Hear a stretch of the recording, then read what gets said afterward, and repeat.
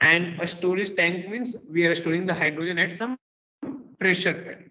Okay, if there is no pressure inside the your storage tank, so hydrogen form is something different, not a gas form or not a liquid, something different. That hydrogen you cannot use. So therefore, we are maintaining the some pressure of hydrogen tank.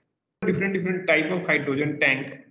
Here I am going to explain you complete architecture of a storage tank. A storage tank means this is the storage tank, but how hydrogen gas we are filling in this storage tank, how pressure we are maintaining. So that we can understand with help of this architecture diagram. We are using four type of tank.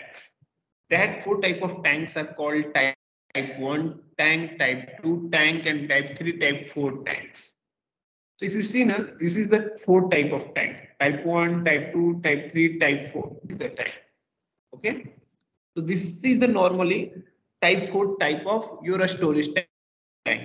So its entire body is constructed from the your, you can say, high density polymer linear materials.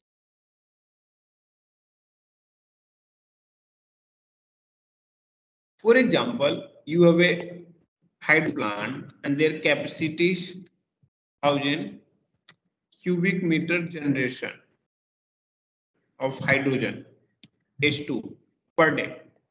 Okay. Per day.